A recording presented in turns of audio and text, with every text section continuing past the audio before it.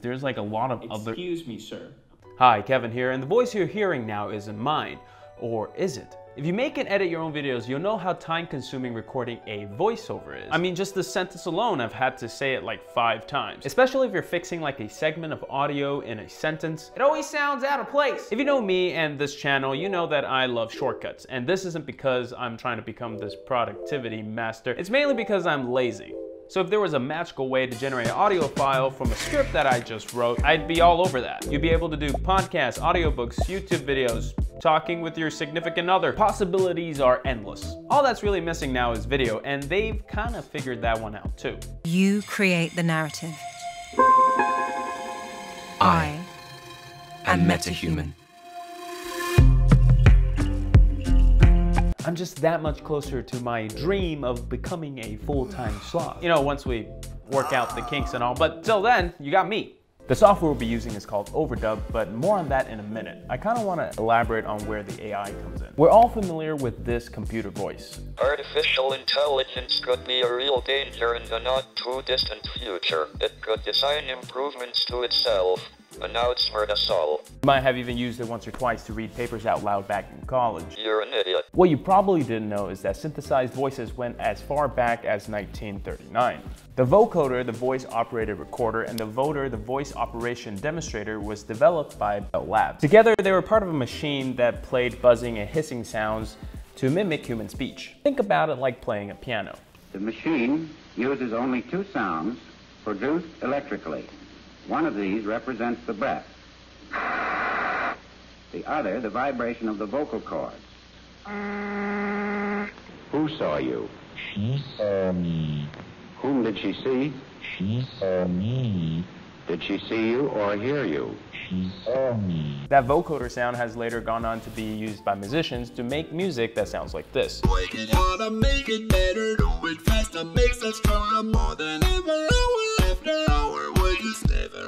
But what I believe is mainly used is a talk box, which instead of synthesizing sound, it's more like an effect on an instrument but I digress. The computer voice slowly progressed throughout the years and I think the best recent example would be Siri. On a side note, did you know that the Siri voice was actually voiced by a real person? Hi, my name is Susan Bennett and I'm a voice actor and the original voice of Siri. Pretty cool, right? Turn up. But you're probably wondering how in the world was she able to record all the word combinations and inflections in the English vocabulary? Well, she didn't.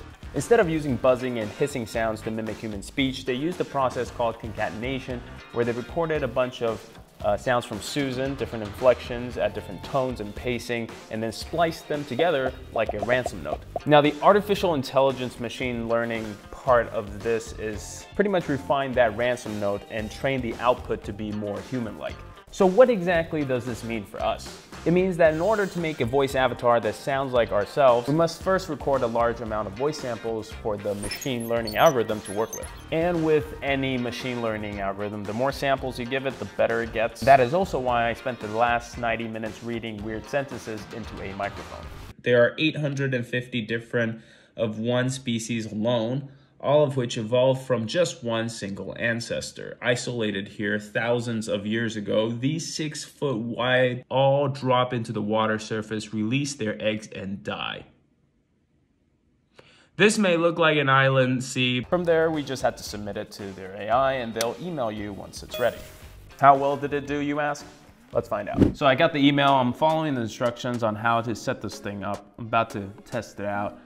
I really don't see how good this could be because there's like a lot of Excuse other. Excuse me, sir. Wait. I am the result of the machine learning algorithm. What do you want me to say? Can you say the earth is flat? Sorry, I cannot say that. Why not? Because it is not true. Then say something else. You're an idiot. I'm starting to sense a theme here. I'm just messing around. The software isn't sentient. Not yet. What else can I get it to say? You know what? Let's have it read uh, my bedtime stories to me. Once upon a time, let's see what that sounds like. Once upon a time, there was a scary monster under my bed. All he made was green eggs and ham. You know, that's pretty realistic. Like, it's definitely passable. Like, if this was on the other end of the phone, it would take me like a minute or two to realize I'm not talking to a real person, which You know, that's all you can really ask for. I wonder if it can sing a song. Here, let's try this. All right, you ready? All right, let's go. We're no strangers to love. You know the rules, and so do I. A full commitment's what I'm thinking of. You wouldn't get this from any other guy. I just want to tell you how I'm feeling. Got to make you understand, never gonna give you up. Never gonna let you down. Never gonna run around and desert you. Never gonna make you cry. Never gonna make you cry. Never gonna say goodbye. Never gonna tell a lie and hurt you.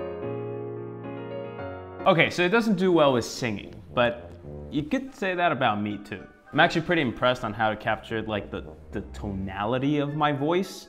It's like really nasally. I bet if I recorded more samples, it would actually sound even better. And I think like the monotone characteristic is mainly based on how I recorded the audio samples for the training.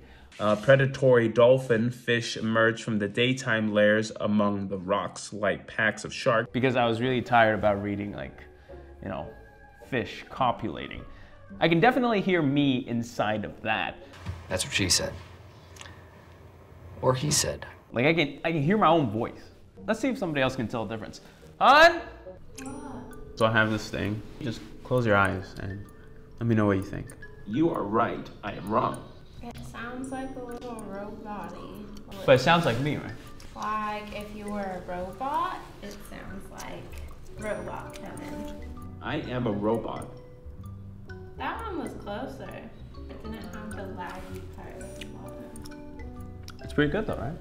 What is for lunch? Hey Andy, I want to check this out. Tell me if this sounds like me. Ready? Can I order two sausage egg McMuffins and a Diet Coke? No way. Does it sound like me? Yeah. It Wait, sounds what? like me, right? That's what, What? I said. I just sound like you. Yeah. I think in a couple of iterations, we wouldn't be able to tell the difference between my voice and the computer voice. I mean, let's just compare what I said in the beginning of the video to what the computer sounds like. Hi, Kevin here, and the voice you're hearing now isn't mine. Hi, Kevin here, and the voice you're hearing now is not mine. I think that's pretty good. We can even do the she saw me test.